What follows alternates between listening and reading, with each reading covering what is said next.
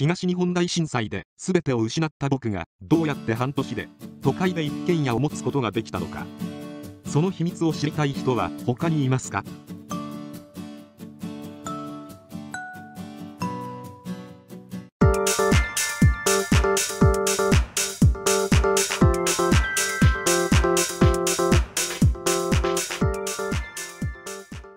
？J1 は16日第1ステージ第7節を開催し埼玉スタジアムでは浦和レッズとベガルタ仙台が対戦。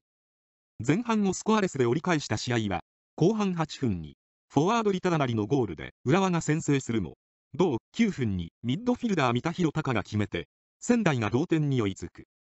しかし同29分にフォワード興梠心臓同31分にフォワード武藤勇樹がゴールを陥れた浦和が3の1の勝利を収めた。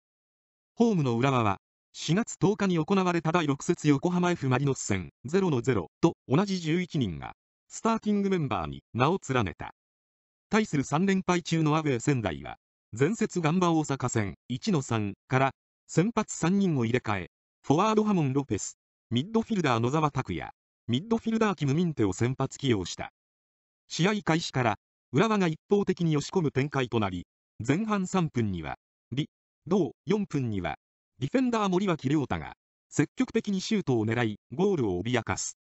しかしゴールキーパー石川系のセーブや守備陣の粘り強い対応で仙台が簡単には先制ゴールを許さない。同23分には仙台がカウンターを発動させ左サイドの野沢から送られたグラウンダーのクロスにハモン・ロペスが飛び込むもシュートはジャストミートしなかった。その後も浦和が押し込む。時間帯が続いたが仙台守備を攻略しきれず。仙台もカウンターやセットプレーからゴールに迫る場面を創出したがネットを揺らすことはできずにスコアレスのまま前半終了のホイッスルが吹かれた。0の0のまま後半を迎えると立ち上がりに浦和が立て続けに好機を創出する。後半4分にはミッドフィルダー関根隆弘の弾道の低いクロスが相手ディフェンダーに当たってゴールを脅かしたが好反応を見せた石川圭がストップ。さらに同6分にはディフェンダー牧野智明のラストパスを李が左足ダイレクトで合わせるもボールはポストを叩いて先制点とはいかなかった。しかし後半8分左サイドから牧野が送ったクロスを李がヘディングシュートで押し込み浦和がついに先制。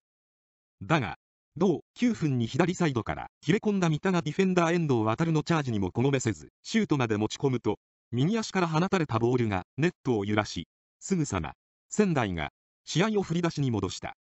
後半26分には仙台がカウンターを仕掛けるとミッドフィルダー奥野博明キム・ミンテとつないだボールから最後はミッドフィルダー藤村啓太が左足ミドルでゴールを狙うもわずかにゴール右に外れてしまう。すると後半29分高い位置でボールを奪ったミッドフィルダー阿部勇樹が前線へスルーパスを通すとペナルティーエリア内に侵入した興梠が石川系の動きを見極めてゴールに流し込み浦和が勝ち越しに成功。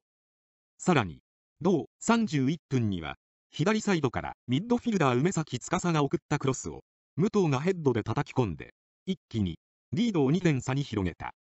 その後も攻勢をかける浦和だが後半36分の興梠のシュートが石川系にストップされるなど追加点は生まれず。しかし仙台にも反撃を許さずに逃げ切って3の1の勝利を収めた。前線でトライアングルを形成する興梠李武藤の KLM トリオは揃い踏みで今季初の3発勝利に貢献した。